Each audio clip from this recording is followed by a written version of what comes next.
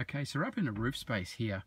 And when you're in a roof space, it's pretty dark. This is a modern house, so it's actually got a, a light installed over there, lighting up all that area, but it's very restricted because of the joists. The light doesn't get around a lot. Um, I'm working over here putting a fan in and um, just putting some framing and so forth.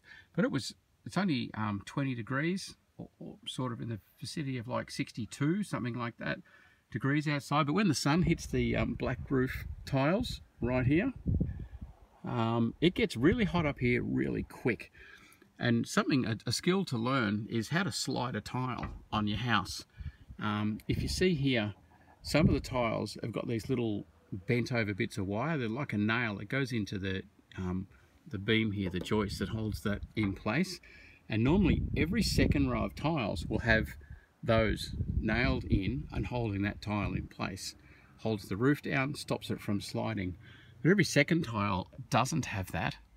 Um, so you can actually lift them and slide them. You'll see from the construction of this tile here, it's looking a bit black, so it's too bright. Here we go. There's a lip on the front of it, and that actually lips down over the edge. So you have to lift the tile um, at the front. So if I was lifting this one, I'll be putting my hand here and lifting that up um, lifting it and then sliding it back up. So just make sure this one is actually nailed. So you don't want to slide that one. If there's a particular tile, you can pull those nails out, uh, but put them back when you're done. Um, and sliding the tile up, like I've done there, gives you a little slot. It does a couple of things. It lets in a huge amount of light, um, lighting up the whole area, as much as a light globe does. That's one. Um, two is it lets in a breeze and cool air and lets the dust out. It's so much nicer up here. And three is it lets all the heat out. Um, so if you're going to be up here working, and as I said, I've installed this beam, and I'm going to be doing electrical connections and you know some fittings for a fan, um, then I'm going to be here for a while. So to make it light, make it cool, and make the air better is absolutely worthwhile. Just a few seconds it takes to slide the tile. And when you slide it back in place, you'll see they're all lined up. If you look along there, you see those concrete edges are all in a line and sitting down on the board there. Um, again, just there. You see that lump on the tile? That's what's holding it from sliding any further down and gravity's doing most of it holding in place.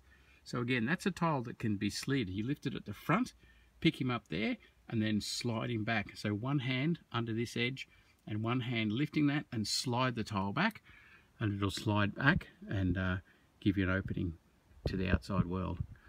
So there you go. That's how you slide a tile and um, get some work done under the house. Again if you're installing like a a whirligig, those sort of things, and I will be doing one of those on this house, uh, then you need to slide a tile and um, make a, hole and then um, stick in your lead and your steel to replace the tile and put the whirligig thing. So look, have a look. I haven't got that yet, but I'll put a link up there when I get everything all linked together as to how to install that so you've got this constant fresh air and coolness in your roof space um, rather than just when you slide a tile like I've got at the moment.